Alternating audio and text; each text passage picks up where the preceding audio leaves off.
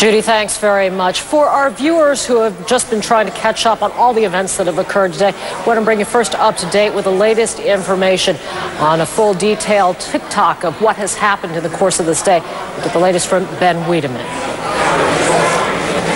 8:45 a.m. in New York. Smoke billows from the World Trade Center after a large passenger plane slammed into the North Tower.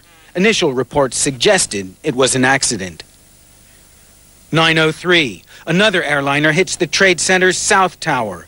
An explosion bursting from the building's upper floors. Two airplanes have crashed into the World Trade Center. President Bush calls the crashes an apparent attack. terrorist attack. 945. Another hit. A commercial plane crashes into the Pentagon. 951. Taking no chances, the Federal Aviation Administration grounds all takeoffs and landings and reroutes incoming international flights to Canada.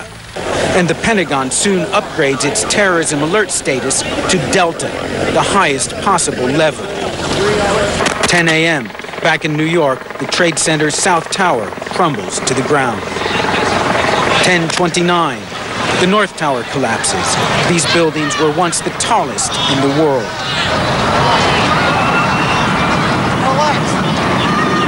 Lower Manhattan, home to the city's financial district, is shrouded in smoke, dust, and ash. 10:10 a.m. A half hour earlier, United Flight 93, bound from Newark, New Jersey to San Francisco, crashes into western Pennsylvania. Police there say initial reports suggest there were no survivors.